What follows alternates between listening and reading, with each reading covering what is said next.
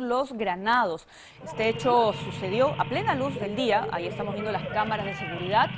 Uno de los delincuentes aparece corriendo y apuntando ya con su arma a la víctima para arrebatarle sus pertenencias. Estaba allí también la moto acercándose para esperar al delincuente. Ya con el botín en su mano, se sube a la motocicleta de su cómplice haciendo disparos al aire ¿ah? para que nadie se le vaya a acercar, porque ya los vecinos se habían alertado.